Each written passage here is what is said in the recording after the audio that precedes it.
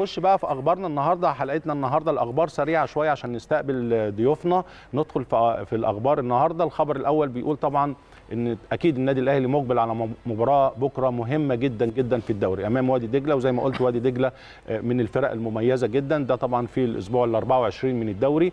طبعا فايلر المدير الفني للنادي الأهلي طبعا مهتم جدا بالمباراة. وأعلن دلوقتي القائمة لمباراة بكرة طبعا إن إحنا عارفين إن خلاص اللعيبة كلها في معسكر مغلق من النهارده بعد التمرين.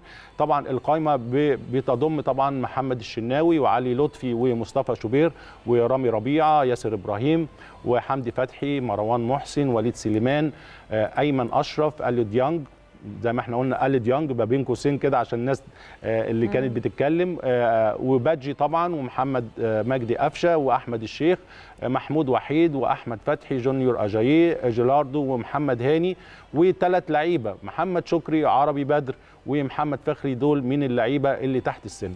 طبعا يعني قايمة محترمة ودايما بقول دايما موجود تاني ثلاث لعيبة من قطاع الناشئين العربي بدر لعب آخر خمس دقائق في المباراة اللي فاتت لكن إن شاء الله يكون المباراة اللي جاية نشوف كمان أكتر من لعيب في في الفريق الأول.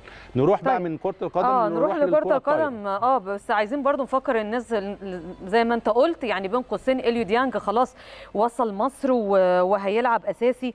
ودي برضو يعني واحدة من الشائعات اللي طلعت الفترة اللي فاتت صحيح. واستغلت الوضع اللي الاهلي فيه اليومين دول. والدنيا ارتبكت بشكل كبير قوي وقال لك راحة ومش جاي والجو ده. النهارده اليو ديانج وصل وبيشارك أساسي بكرة في المباراة المهمة مع وادي دجلة.